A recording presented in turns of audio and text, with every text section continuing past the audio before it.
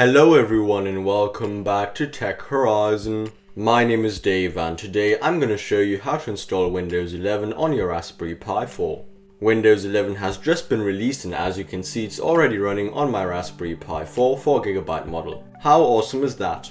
Now before I'm going to show you how to install it, I wanted to point out that I don't recommend using Windows 11 on your Pi as your main desktop since a lot of the features don't work yet. Unfortunately, onboard Wi-Fi doesn't work yet, meaning you're going to have to use an Ethernet connection and there aren't any GPU drivers either.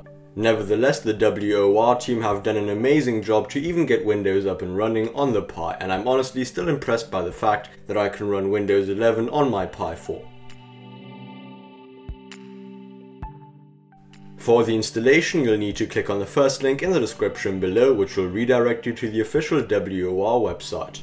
Here head to the download section and download the newest version of the Imager.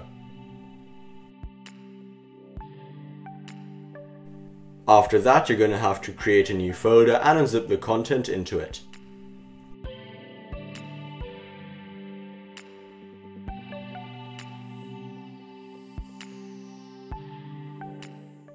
Once you've done that, return to the WOR website, Scroll down and download the boot partition mount utility in case you want to overclock your Pi. This step is optional. Next, scroll all the way down and click on this blue link. Then click on the blue highlighted AdGuard link. From here select Windows 11 Insider version and the newest one available for ARM. Then choose your preferred language which is English for me. Whatever Windows version you want to install, personally I'm going to go for Windows 11 Pro and finally select download ISO compiler in one click. To download it, click on this highlighted link. In case a warning pops up, select keep, show more and keep anyway. Once again, I recommend creating a new folder and moving the file into it. Once the file has finished downloading, open it up, click on more info and run anyway. Now this process will take quite a while depending on what computer you're using. I'm using my Intel NUC so I reckon it's going to take about 40 to 50 minutes. Once it's finished, scroll up to check its location in case you don't know and hit any key to exit. As you can see mine is saved in the folder I created earlier. The next step is opening up the imager which is this .exe file we downloaded earlier. Once again click on more info and run anyway. Here select the micro SD card you want to flash the image to, select Raspberry Pi 4 and hit next.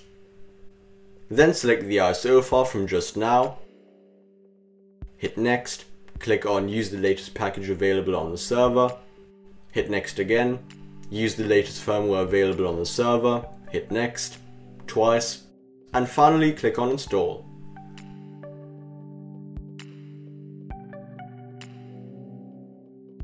As soon as it's done installing, click on finish. Now you can overclock your Pi. However, if you have a look at the boot partition, you'll notice that there's no config.txt file. That's why we need the boot partition mount utility we downloaded earlier. So now simply create a new folder and extract it. Then run the application. Select the drive you just installed Windows 11 on. Click on Mount. And view contents. As you can see the config.txt file now shows up.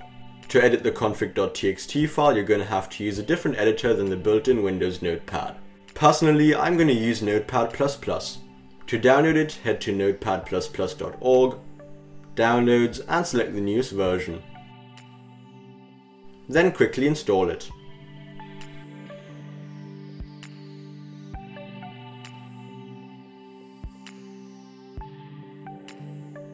After that you can open up the config.txt file using Notepad++ by right-clicking it, selecting Open With and Notepad++. Here just scroll down and add the lines over voltage equals 6 and arm frequency equals 2000 to overclock your Pi to 2 GHz. Of course you can overclock your Pi to whatever you want. Now I'm not going to overclock the GPU because Windows 11 doesn't have any GPU drivers yet. After that click on save, close it, and eject the micro SD card, and plug it out of your PC and into your Pi. By the way, you're going to have to plug an ethernet cable into your Pi as well if you're planning on using the internet, because like I said, onboard Wi-Fi doesn't work yet. After turning on your Pi, make sure to press escape as soon as your screen shows something. From here select Device Manager, Raspberry Pi config, Display config, check 720p to ensure smoother use and uncheck native resolution. Then head back by pressing escape on your keyboard and head to advanced config. Here disable limit RAM to 3GB so you can use all of your Pi's RAM. Then press escape, hit Y, press escape again, select continue and press enter. Now your Pi will reboot and make sure not to press anything. If it appears to have frozen, just leave it and it will continue.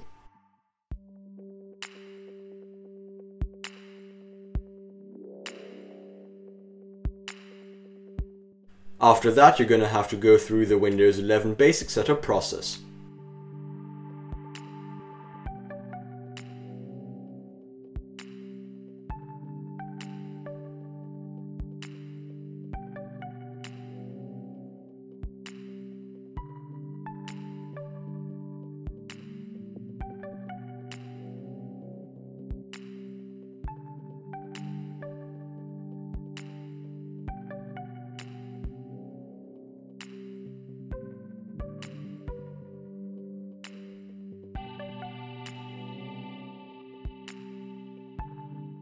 As you can see, Windows 11 has been successfully installed on the Raspberry Pi 4 and you can now start using it.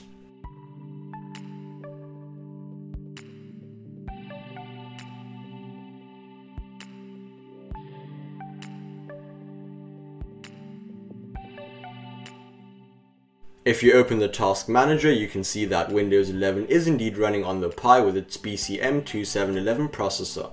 The Pi is also overclocked and therefore running at 2 GHz. If you didn't overclock your Pi, it should be running at 1.5 GHz. In terms of RAM, the limit has also been successfully removed as it's now using close to all 4GB of RAM. You can also see that I'm running Windows 11 on my microSD card, but you can also install it on an SSD for example. Overall, I'm pretty impressed with the performance. Everything seems to work well and it's overall faster than I expected it to be. You can of course also optimize Windows 11 for the best performance by heading to Performance Options and selecting Adjust for best performance. Apart from that, you can also theme it all up by changing the colors, wallpapers, and most importantly the taskbar location, like I'm going to show you now.